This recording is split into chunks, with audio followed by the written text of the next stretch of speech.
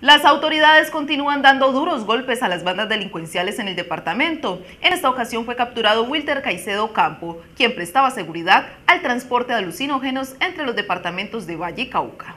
La policía capturó a Wilder Caicedo Campo, contra quien pesaba una orden por los delitos de tráfico de estupefacientes y concierto para delinquir. Según la investigación, él era el encargado de prestar la seguridad durante el transporte de narcóticos desde Corinto, departamento de Cauca, hasta Buga. Caicedo Ocampo aceptó cargos y fue cobijado con medida de aseguramiento de detención preventiva en centro carcelario. William Hurtado Loaiza, CNC Noticias Buga.